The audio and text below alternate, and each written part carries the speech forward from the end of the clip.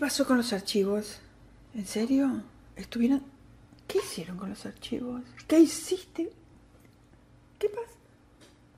Un segundito. Bueno, pero sí, esas cosas pasan. Si tenemos archivos PDF y tenemos más de una versión y estamos haciendo un trabajo entre varias personas, puede pasar, ¿verdad?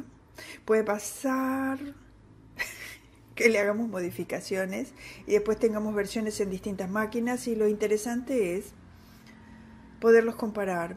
Así nos, nos ahorra, nos hace el trabajo más fácil. Entonces, bueno, ¿qué se me ocurrió? Tomar un archivo, hacerle unas modificaciones, salvarlo y después verificar esas modificaciones a ver qué onda, cómo lo hizo.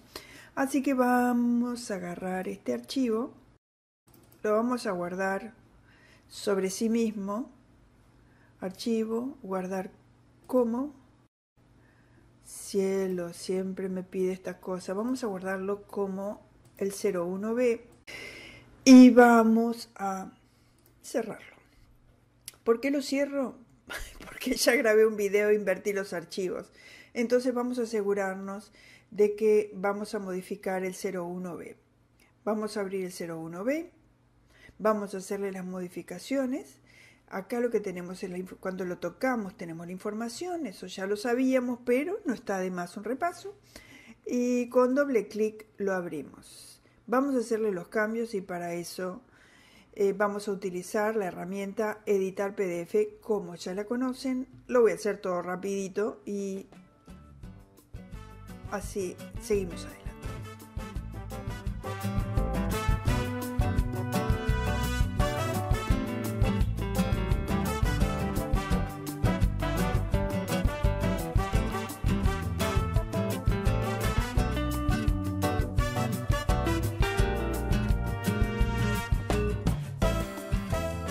Guardé el 01B, vamos a corroborar que este es el que le hicimos los cambios.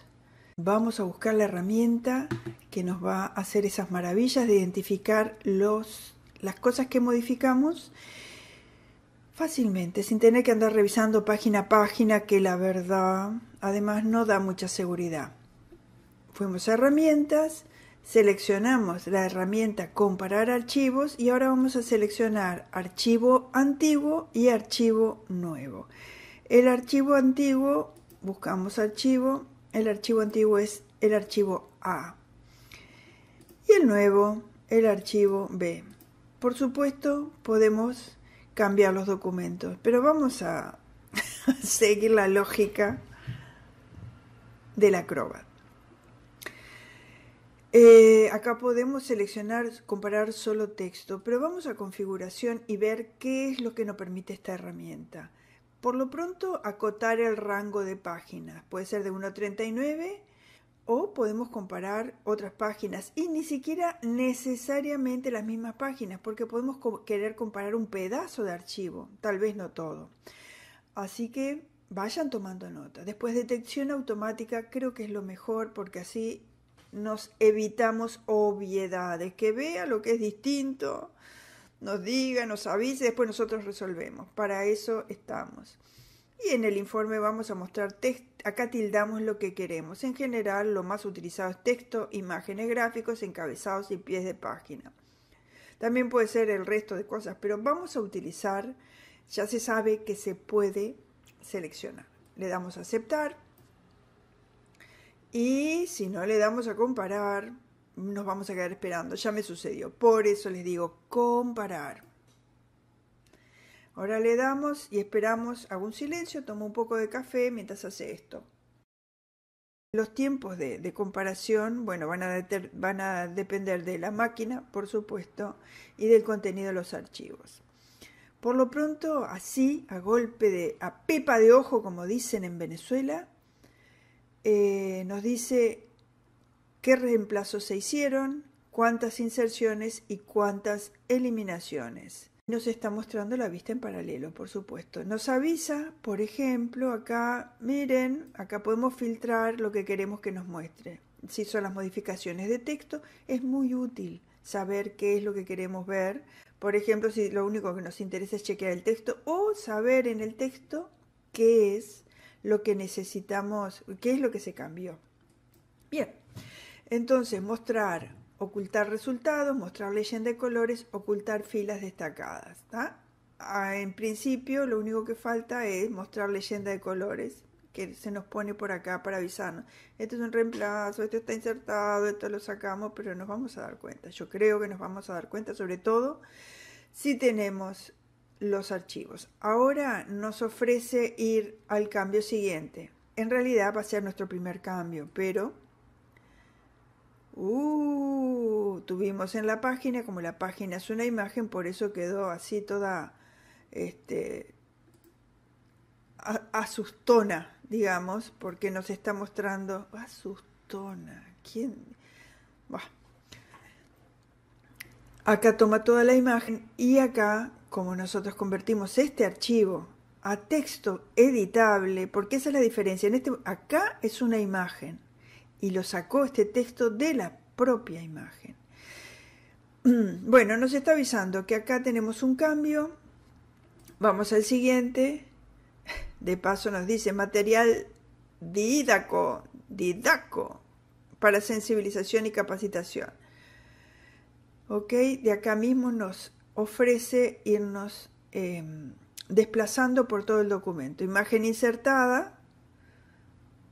Claro, al haber editado, esto me dejó pensando, pero es lógico.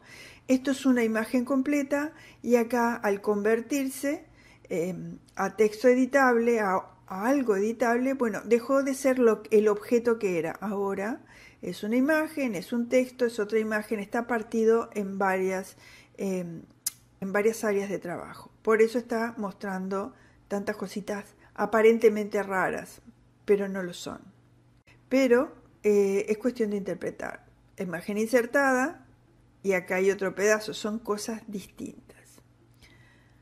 Imagen, imagen reemplazada, claro, va cambiando acá ahora hay un texto y acá hay una imagen. Bueno, no me voy a seguir este, desarrollando en esta página, que es la tapa. Vamos al cambio siguiente. Cambio siguiente, cambio siguiente. Bien, sí, acá encontró. El antiguo era este, el nuevo nos cuenta además los cambios que hizo. Cambio siguiente. Puentes, puentes 33, nos está indicando el cambio. Bueno, vamos a seguir revisándolo.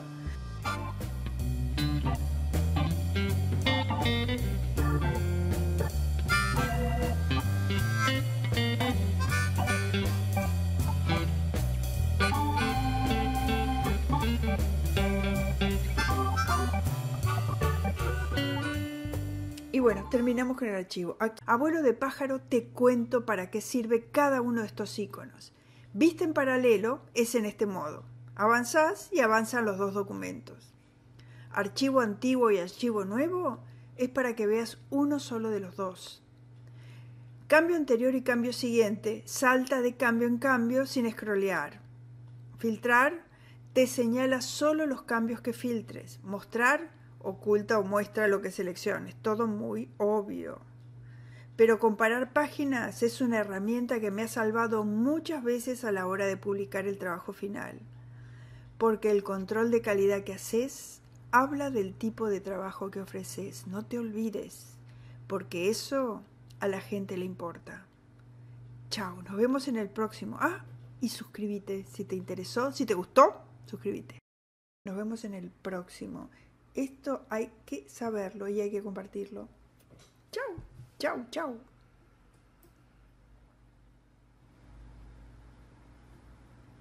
Mejor pausa, ¿no?